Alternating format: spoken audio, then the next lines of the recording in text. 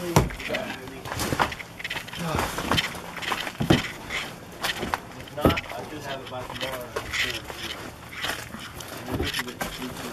Holy smokes.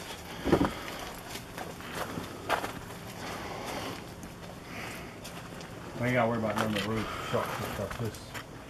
Let me ask you this question here.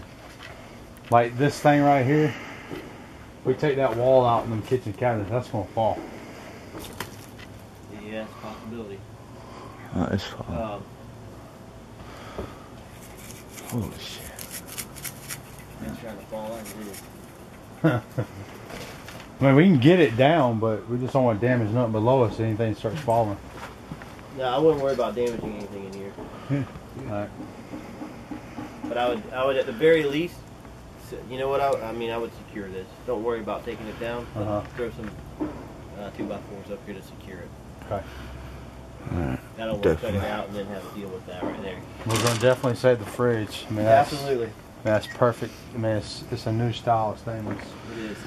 It's got the smoke look to it. Alright, well, we know what this one is. Mm -hmm. And they get better from here. They get better. This is the worst, I hope. This is where the fire started. Yeah, I see that. You say? Alright, yeah. what, what, what do they say started the fire?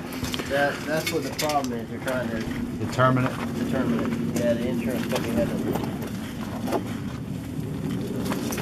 Well, the way that it started is hard to. It looks like it's an almost an attic fire of some sort.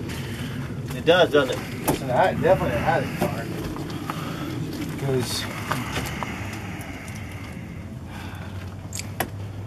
well, I tell you what, thank God for the fireproof walls that were up there. Yeah. Well, there's a reason we got to use 5 8 drywall.